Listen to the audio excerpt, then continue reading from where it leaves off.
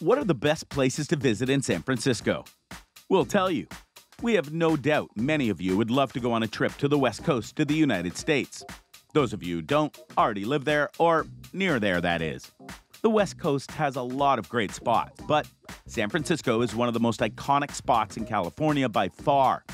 And as a result of that, it has plenty of places for you to go and visit, enjoy, and explore. So allow us to show you 10 that are particularly good interest to tourists. 10. Golden Gate Bridge. The Golden Gate Bridge is a California icon gracing San Francisco Bay. It is the most photographed site in the city, with the orange structure backed by blue water, or in many cases, peeking through low lying cloud. At night, the floodlit structure is equally striking. Connecting San Francisco with Marin County and other districts further north, the Golden Gate Bridge was, at one time, designated the greatest man made site in the United States by the U.S. Travel Service. It opened on May 28, 1937.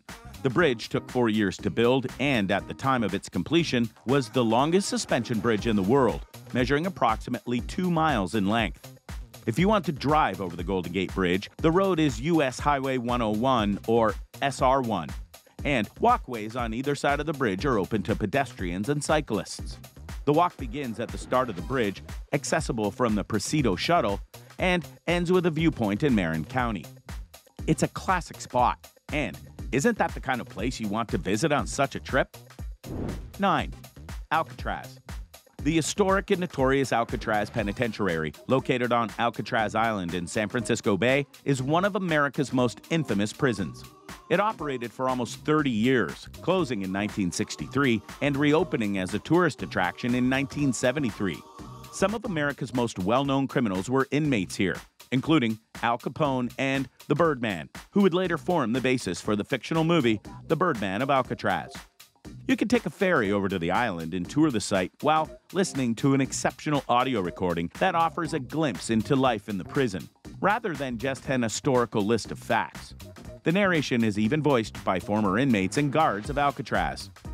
While most people come for the history or the novelty of seeing a former prison, the island is now a prominent area for nesting seabirds. Oh well, at least it serves a purpose, right? 8. Fisherman's Wharf. Fisherman's Wharf is one of San Francisco's most popular tourist areas. If this is your first visit to the city and you only have a day or two to see the sights, Fisherman's Wharf is one of the best places to visit. This old section, once the Little Italy of San Francisco, is known for its shops, restaurants, and beautiful settings along the waterfront. It's a fun place to stroll around and get a taste for the city. From here, you can also take a sightseeing cruise for spectacular views of the city, or organize a fishing charter.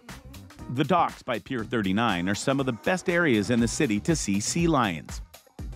Some of the main attractions in the area are Madame Tussauds Wax Museum, Musée Mécanique, Ripley's Believe It or Not, and Ghirardelli Square. Restored 19th and 20th century ships line the waterfront at the Hyde Street Pier, which is now the San Francisco Maritime National Historic Park. This is a place you'll want to explore in depth, so go do so. 7. Cable cars. Cable cars were introduced in 1873 to help locals contend with the many hills that the city is built on. Today, the few remaining cable cars offer tourists a great way to explore the city in historic fashion. Since 1964, these tram like vehicles have had the unique distinction of being the only public transport system to be declared an historic monument. The Powell Mason and Powell Hyde are the most scenic routes, the cable cars will also get you to the major tourist attractions such as Fisherman's Wharf, Ghirardelli Square, the Ferry Building, Nob Hill, and Lombard Street. Tickets can be purchased on board the cable car, or if you are planning on more than a couple of rides or are going to be sightseeing for a few days, consider buying a pass. 6. Golden Gate Park. Golden Gate Park, home to gardens and museums, is a fabulous green space in the heart of San Francisco often considered the lungs of the city. Before development began in 1871, this was an era of arid dunes. Today, the park has a network of walking trails and cycling paths, more than 5,000 different kinds of plants, and dozens of species of trees, several lakes, bridle paths, and a buffalo paddock. The main attractions include the DeYoung Museum, the California Academy of Sciences Museum with Steinhardt Aquarium, the Japanese Tea Garden, and the San Francisco Botanical Garden. Golden Gate Park is one of those places that can just as easily take up a couple of hours as a couple of days. Bike rentals are available, and this can be a great way to explore the park rather than trying to do everything on foot. Alternatively, try an organized 2.5 hour Segway tour with a local guide and hit all the major highlights. 5. Chinatown. You may have been to Chinatown in other cities, but San Francisco's Chinatown is a whole other realm. It is both the largest Chinatown outside of Asia and the oldest of its kind in North America.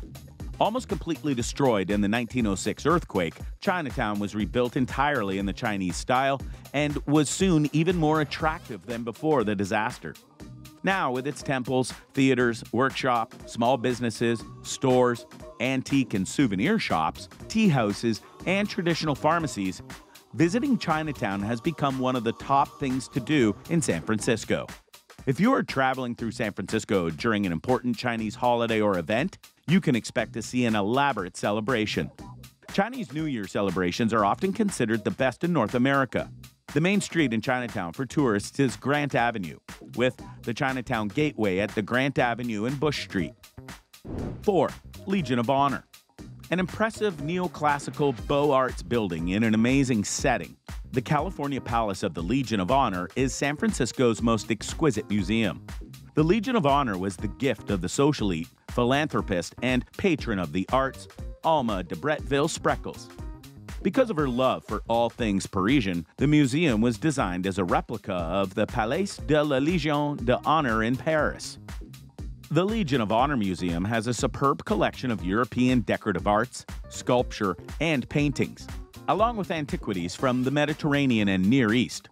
Admission to this museum also gives you same day admission to the De Young Museum, the museum is in Lincoln Park, a gorgeous green space with a golf course and coastal woodlands, and a wonderful place for a leisurely walk. Just outside the museum, visitors may follow the path along Lincoln Highway, which boasts spectacular ocean vistas and perfect outlooks onto the Golden Gate Bridge. 3. The Palace of Fine Arts. The Palace of Fine Arts in San Francisco is the last remaining structure from the 1915 Panama Pacific Exposition. Listed on the National Register of Historic Places, this classical looking building is beautifully situated on a lagoon that reflects the mirror image on the surface of the calm water, while ducks and geese drift by. The palace has been restored, along with the grounds, and today hosts art exhibitions and performances. The Palace of Fine Arts Theater seats approximately 1,000 patrons. 2. California Academy of Sciences. The California Academy of Sciences in Golden State Park is an architectural marvel as well as a multifaceted museum. This state of the art green building with a sustainable design has a 2.5 acre living roof covered with native plants and even rolling hills to match the natural surroundings. The roof also has solar panels to generate electricity, and the soil acts as natural insulation. The walls are largely made of glass, allowing for natural light. Inside is an incredible natural history museum, planetarium, aquarium, rainforest, and more. The Steinhardt Aquarium includes some 38,000 living specimens on a 25 foot deep coral reef. The Osher Rainforest is four stories high and houses animals and amphibians in a fantastic layout. You can descend in a glass elevator to the deepest depths and look up through an acrylic tunnel to see fish swimming overhead in the flooded forest. The Kimball Natural History Museum has skeletons of a T Rex and blue whale, along with an array of interesting exhibits. 1. Twin Peaks. These two uninhabited hills, more than 900 feet high, have one of the finest views out over the city and bay. Access is easy. You can drive to the North Peak parking area, park your car, and soak up the amazing vista. For those looking for a bit of activity, take a hike along trails over the North and South Peaks. This is some of the best hiking in San Francisco. While up here, you may be forgiven for thinking these are the highest of San Francisco's 43 hills. However, that lofty distinction belongs to Mount Davidson, which is 33 feet higher. The Twin Peaks are the only hills in San Francisco not to have been built over and remain in their original state. So, what do you think? What do you think of this look at the sights of San Francisco and what you might be able to enjoy there if you go? Which of these spots definitely caught your interest? Have you honestly been to some of these spots before? If you're familiar with San Fran, what places would you recommend to people who have never gone before? Let us know in the comments below, and we'll see you next time on the channel.